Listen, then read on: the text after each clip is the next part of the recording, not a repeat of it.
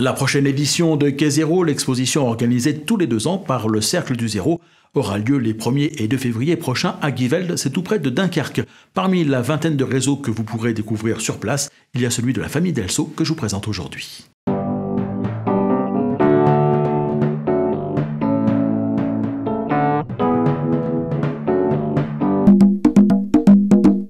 Un réseau qui raconte plus de 80 ans d'une histoire familiale. C'est celui que présente Claire Delso assez régulièrement en exposition.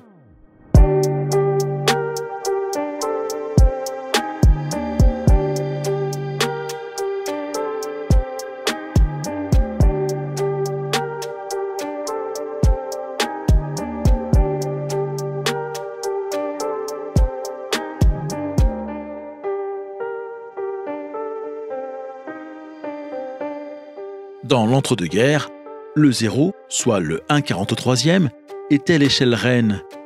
Quelques grandes marques et artisans de renom se partageaient le marché, et de nombreux amateurs fabriquaient leur propre matériel roulant. C'était le cas du beau-père de Claire Delceau, qui s'est lancé dans la construction de son réseau à une époque où en France, la SNCF n'était pas encore née. C'est mon beau-père qui l'a démarré, a priori vers 1937, puisque j'ai retrouvé des documents qui indique qu'il a commandé son train à un monsieur Fournereau, donc un ancêtre sûrement de la famille Fournereau actuelle. Et euh, donc, il y a des échanges de courrier entre les deux. Alors, en fait, mon beau-père a acheté les rails, les traverses. Sur chaque euh, traverse, il y a quatre clous.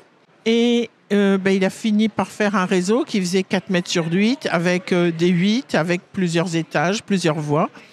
Il avait une grande maison hein, et une épouse très compréhensive quand euh, il a fallu démonter le réseau, parce que hélas, bien souvent, ça finit comme ça, mon mari a récupéré.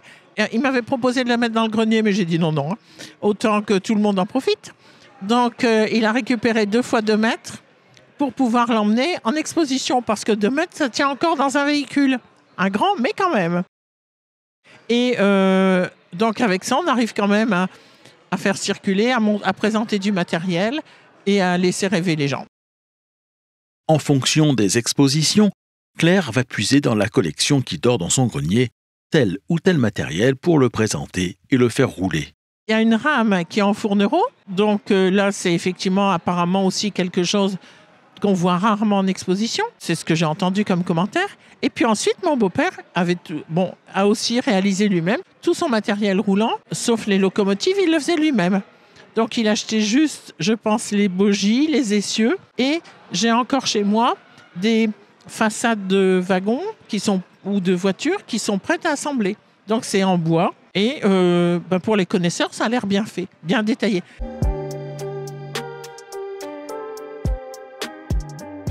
Cela ne fait qu'une dizaine d'années que Claire s'est mise à son tour à faire du train. Mais dans ce domaine, elle a réalisé un sacré parcours qui l'a conduit à la présidence de l'ATMC, l'association Train Miniature du Cambrésis. Bah, C'est-à-dire que mon mari m'a traîné, euh, enfin traîné vraiment, dans les expositions de train. Il me parlait du train, mais je travaillais, j'avais, euh, et puis j'ai élevé cinq enfants. Nous avons élevé ensemble cinq enfants. Et puis euh, quand j'ai pris ma retraite, j'avais envie de m'occuper. Donc, et au club de Cambrai, on cherchait un, un, ou une secrétaire. Je me suis proposé, on m'a dit OK, c'est parfait, en pensant que je ferais juste le secrétariat. Puis non, je suis sortie du cadre parce que je me suis mise à jouer au train. Donc j'ai commencé par aider mon mari à mettre du ballast sur son réseau, mais il m'avait pas dit qu'il fallait pas en mettre dans les aiguillages et j'en ai mis partout. Donc nous avons une scène de ménage et j'ai décidé qu'on faisait, on jouait plus dans la même cour. Donc et à ce moment-là, la fédération a incité les féminines à faire du train. Donc je me suis lancée dans des modules féminins en HO. Et euh, j'ai commencé à aller en exposition comme ça. Et mon mari euh, a eu des problèmes de santé. Il est décédé depuis. Et donc, soit je rangeais ça dans le grenier et puis on n'en parlait plus. Mais à ce moment-là, ça veut dire que l'histoire familiale, tout ce qui avait été acquis en connaissance, en matériel au niveau du train s'arrêtait. Ou j'emmenais le train. Et euh, bah, j'ai quand même préféré cette option-là parce que passer mon dimanche à la maison à tricoter, c'était pas pour moi. Ah, donc, euh, j'ai emmené le train. Et puis, un petit peu à la fois, sur les conseils des, bah, tous les amateurs qui passent. J'ai compris que ce qui était beau, c'était le matériel ancien, le, matériel réalisé par mon beau-père. Donc de temps en temps, je vais en exploration archéologique dans le grenier pour sortir une belle pièce. J'ai les wagons réalisés par mon beau-père, mais j'ai aussi deux gares Hornby joués. Et, et moi, quand j'étais enfant, j'ai joué avec le train de mes cousins et il y avait une gare comme ça. Donc ça, c'est mes jouets d'enfant. Et, du coup, il y a quelqu'un qui m'a dit, mais tes voitures, tes reproductions récentes, ça va pas. Il faut mettre des Dinky Toys, parce que c'est ce qui va avec cette époque-là, avec le Hornby. Donc j'ai sorti des Dinky Toys. Et j'ai quelques personnages en plastique Hornby aussi. Et puis après, euh, quand même, ce qui est intéressant, c'est que les gens aiment bien aussi un train qui où ça bouge, où ça vit. Donc euh, j'ai une rame ETS et une autre locomotive ETS qui sont tout à fait fiables en exposition. Alors c'est un petit peu anachronique, mais de toute façon c'est 80 ans d'histoire familiale. Donc euh, on va du début à la fin. Et euh, ces locomotives-là fonctionnent bien et elles sont pilotées avec un par Arduino parce que je suis une grande bavarde. Et si je dois manœuvrer mon train et répondre aux questions, bah, je préfère répondre aux questions et que provoquer des catastrophes ferroviaires, c'est pas possible. Donc c'est mieux que ça soit avec Arduino. Lorsque le réseau n'est pas de sortie, il ne remonte pas dans le grenier et continue de vivre dans la maison. Quand le réseau n'est pas ici en exposition, il est chez moi dans le couloir et mes petits-enfants jouent avec. Et c'est la quatrième génération dans la famille qui fait du train.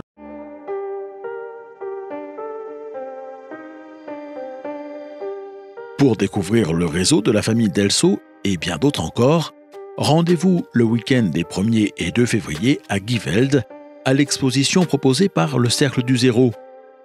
À Zéro cette année, ce sont au total une vingtaine de réseaux au 1,43e qui seront présentés, avec des exposants venus de France, de Belgique, de Suisse et du Royaume-Uni. Des ateliers sont également programmés tout au long du week-end. L'exposition se déroulera à la salle polyvalente de la ville de Giveld le samedi et le dimanche de 10h à 18h. Pour ceux d'entre vous qui ne pourront pas se déplacer, je vous ferai un compte-rendu de l'édition 2020 de cette exposition dès la semaine prochaine dans Aiguillage.